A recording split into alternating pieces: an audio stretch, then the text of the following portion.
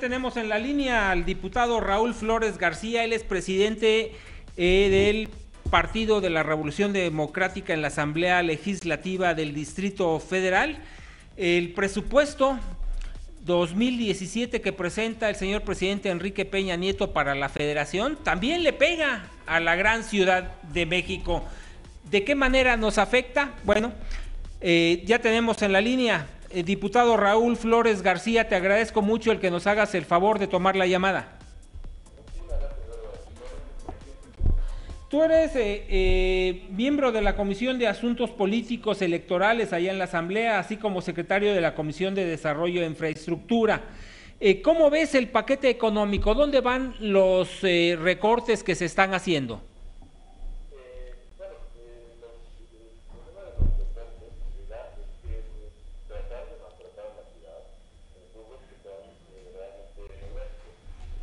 ¿Sientes que viene con jiribilla este presupuesto? ¿Sientes que viene con jiribilla este presupuesto? Pues mira, por lo menos viene con una forma muy negativa. Eh. ¿Muy negativa, perdón? Muy negativa, porque lo que yo te podría decir es que eh, es inconcebible que por primera vez el Fondo de Capitalidad forma ya parte de la Constitución ¿Sí? Eh, política, ¿no? Y eh, me, sorprende mucho pues que no lo hayan considerado. Es eh, verdaderamente lamentable porque se debería eh, haber eh, sin duda puesto por encima de cualquier otra consideración cumplir con la ley, con la constitución. Si la idea es no cumplir con la constitución y este, hacer atrás, echar para atrás algo que fue una gran conquista, no solo de la ciudad, ojo, eh, sino una gran conquista de, eh, pues del país entero pues, respecto de sociedad que le da tantas eh, tantos servicios esta es la capital de todas y todos los mexicanos pero además consideremos que más de cuatro millones de personas llegan directamente a la ciudad a trabajar, a realizar servicios, a tomar consultas médicas, a, a la universidad, a, otros estudios. Y es la entidad que más impuestos recauda, ¿no? Claro, pues sí, imagínense, es emblemática. Y el, Fondo de Capitalidad, pues eh, por primera vez estamos estábamos en la tesitura de que fuera un fondo eh, ya eh, por ley. Entonces, entiendo que recortaron los fondos regionales, pero esos fondos no son parte de la Constitución. sí, también entiendo que hay un problema de flujo por el tema del pago de intereses de la deuda y la baja de ingresos eh, petroleros, pero eh, fiscal se tiene que respetar y no se puede dejar en ceros la medida de las partidas. Es un daño muy grande que en principio estaría reportando 15 mil millones de pesos eh, ya de la totalidad de los programas. Eh, cosas tan importantes como el agua, no la posibilidad de, de más infraestructura de agua, de la ampliación de la línea eh, 12 del metro hacia Miscoac que eh, pues es necesario, de Miscoac Observatorio, perdón, es necesario porque viene el tren interurbano y entonces a dónde o cuál la multimodalidad del transporte no se está cumpliendo y se va a saturar eh, observatorio eh, y era un acuerdo y era un compromiso que, se tenía igualmente hacia Chalco recordarás que había otro otro proyecto que Videgaray se había comprometido a apoyar después de que también habían dejado la partida de ceros. Este, eh, en fin, eh, pues una serie de cosas eh, ilógicas ponen en, en, el, en el macizo de los ingresos, también el tema del, tren México-Toluca, ¿no? y del, interurbano, pues que este no es una obra de la ciudad, es una obra federal, propiamente que más bien causa bastantes molestias en la ciudad, ¿no? Este, y, así la cultura, el tema de la educación, eh, vienen eh, a la baja eh, y bueno, son rubros importantísimos en un contexto en donde la ciudad tiene necesidades muy grandes y donde la ciudad sigue aportando grandes cantidades de dinero, y más bien es el mayor aportante al Producto Interno Bruto de este país. Así como se ven las cosas, ¿tú sientes que en esta propuesta que está haciendo el Ejecutivo Federal, eh, va con jiribilla con la intención de lesionar la imagen y los intereses de la Ciudad de México con miras al 2017-2018, las elecciones? Sí, eh, yo pienso que eh, tiene que ver con eso y tiene que ver con la próxima elección en el Estado de México. ¿no? Creo que eh, la ciudad sí ha tenido un tema muy notorio de disciplina en las finanzas, los el tema de las propias pues acciones que toma y los índices delictivos, las acciones en contra de la contaminación, en fin, creo que se está tratando de presionar a la ciudad para que de ahí surja un debilitamiento y, pues deje de ser esa diferencia que hay con hoy el Estado de México, pues que es un Estado es un Estado que refleja no otras cosas pues, que el Estado fallido del que tanto se hablan.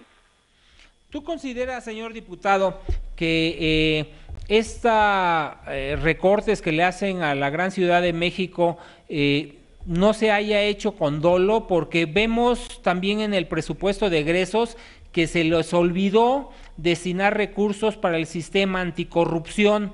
Estas fallas, este, ¿qué, qué opinión te merecen?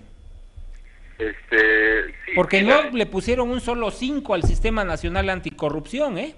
Eso es un, eso es un tema bastante lamentable, ¿no? Eh, creo que eh, por eso hay que reformar el Estado mexicano, porque no puede depender de la de la venia del presidente si una política pública eh, se da o no. Si es algo que decidió el Congreso, pues eso no tenía que ser optativo para el, para el presidente, ¿no? Eh, y creo que más bien hay que reformar, reformar todo el sistema mexicano. Por supuesto que cuando, si, si hubo quien creía que eh, traer a Trump era el máximo grado de error que podía cometer Enrique Peña Nieto, pues no. Todavía se puede ir a más y eh, ahí está para muestra este tipo de decisiones, pues que la verdad son inexplicables, si no es porque se trata de forzar lo más posible el tema desde la figura presidencial. Para poder ajustar el gasto en la Ciudad de México necesario porque ya en la ley se contemplan muchos programas que eh, el Ejecutivo local está obligado a cumplir y obviamente se necesitan recursos, se necesita dinero. Los ciudadanos nos vamos a ver afectados desde la Asamblea Legislativa del Distrito Federal con mayor carga impositiva, es decir, nuevos impuestos. Pues yo espero que no. Eh, lo que lo que tendría que estar pasando, Eduardo, es, yo no sé, eh, ustedes como medios pudieran eh, buscar o un antecedente o cualquier otro medio de comunicación en donde Peña Nieto en todo este tiempo de todo su sexenio hubiera siquiera dictado una medida de austeridad respecto del gasto corriente del gobierno federal. Yo no lo tengo registrado y en el caso de la Ciudad de México, pues los gastos son eh, muy medidos, estamos acostumbrados a una administración mucho muy austera, ¿no? Este y más bien lo que pedimos es que se bajen totalmente las las este, los, ingresos en el gasto eh, de, corriente del gobierno federal, que ningún gasto santuario pudiera pasar, ¿no? Este y que eh, darse eh, este dinero pues a, fondear aquellas acciones sociales que no pueden esperar, porque la ciudad, en ese sentido, pues nosotros recaudamos una gran parte de nuestros ingresos, somos el estado que más recauda, eh, más del 50% de nuestros ingresos son propios, para ponerlo en perspectiva, el estado de Zacatecas eh, solo recauda el 8% de sus recursos, por ejemplo, y nosotros el 53%, el Estado de México recauda el 33%, eh, entonces las participaciones federales no, sí, deben, deben llegar, pero además la ciudad eh, genera muchos recursos, eh, no solo de la porción al Producto los Bruto, sino que lo, lo que los eh, pagamos de nuestros impuestos, que aparte somos buenos pagadores porque en la ciudad hay servicios. Se dice que cada mes cada habitante de esta Ciudad de México y del país tiene que contribuir con 20 mil pesos para pagar las deudas que tenemos eh, a nivel general como país. En la Ciudad de México, eh, ¿qué visualizan ustedes desde la Asamblea Legislativa del Distrito Federal como para poder retener los impuestos que se recaudan en la ciudad y hacerlos efectivamente útiles para nuestra ciudad? Desgraciadamente, y el público lo debe saber, eh, creo que eh, eh, esto implica que no se consideran una parte de las obras, ¿no? Este, no se puede dejar de poner el tema social, ¿no? Pero si esta lógica sigue en esta locura, ¿no? Pues vamos a tener eh, un problema eh, serio eh, en la ciudad respecto de las obras de infraestructura, sobre todo. La Asamblea Legislativa del Distrito Federal también se hará recortes, se van a bajar los sueldos los diputados, el personal que trabaja ahí, porque estamos viendo que en el ámbito federal, en el Ejecutivo, están recortando el, del 30 al 38% de la nómina por un lado y bajando los sueldos hasta un 20%. ¿Van a ustedes también entrar en esta dinámica?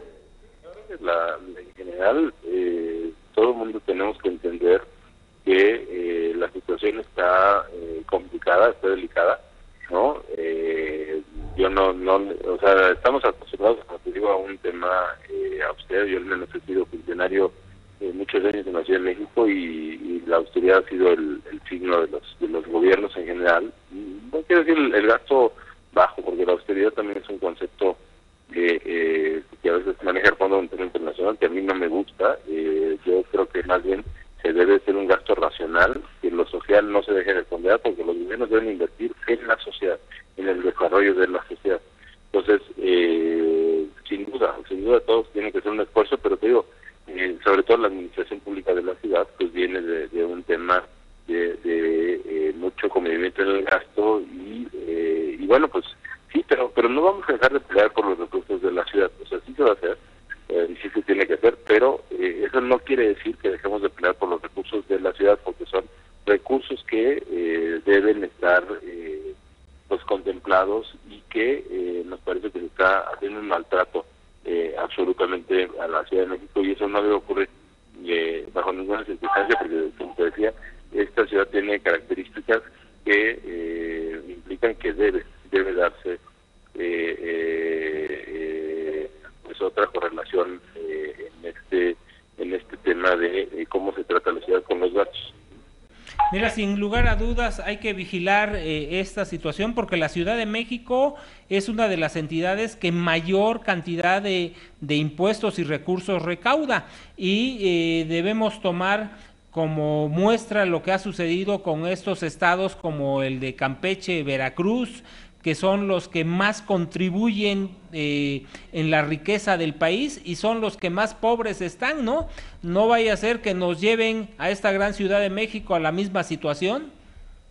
No, este, definitivamente eso no debe pasar, sobre todo por el aporte que tiene esta ciudad a la economía, eh, eh, el, gran motor económico que es, y bueno, esta ciudad es donde ha, ha, podido forjarse el tema de la, de la crisis con mayor solvencia. Y bueno, sí sería muy lamentable eh, que esto no, no fuera atendido por la, por la federación, sobre todo porque además ha habido disciplina fiscal eh, en la Ciudad de México. Eh, las finanzas se manejan con mucha disciplina, con, con transparencia. Se ha estado bajando el endeudamiento de 500 millones cada año, el doctor Mancera este y a contrapelo de lo que el público ha escuchado en otros estados, Veracruz, Sonora, Coahuila, eh, eh, Tamaulipas, en fin, eh, la gran mayoría de los estados donde la irresponsabilidad en el endeudamiento, el gasto excesivo, en fin, los créditos, eh, han sido el signo. Eh, en la ciudad eso no ocurre y, y bueno, no puede ser maltratada también por ese lado del manejo de las finanzas. Pues te agradezco mucho, diputado Raúl Flores García, presidente del PRD en el Distrito Federal y también eh, presidente de la Comisión de Asuntos Políticos Electorales y secretario de la Comisión de Desarrollo e Infraestructura en la Asamblea Legislativa del Distrito Federal, que nos hayas dado tu opinión, tus comentarios, pero me gustaría darle seguimiento, si me lo permites, buscarte en la próxima semana para que nos comentes ya en concreto qué están haciendo ustedes como fracción parlamentaria para defender obviamente el presupuesto que le corresponde a la gran Ciudad de México.